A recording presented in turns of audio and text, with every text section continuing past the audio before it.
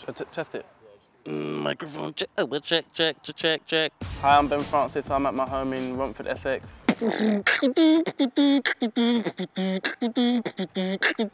beatboxing about three and a half years ago.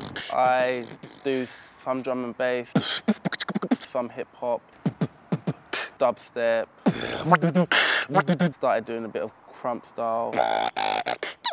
Just do it, mix it about a bit.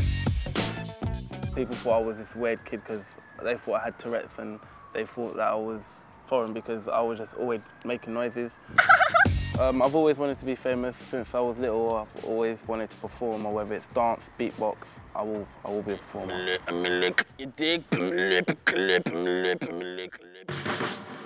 Winning would mean a lot because then I would know that people like people appreciate what I do, build my confidence. It makes me feel that I can actually win things because there ain't been many competitions that I've won so far.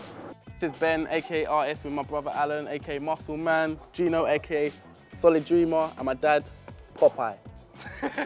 See this?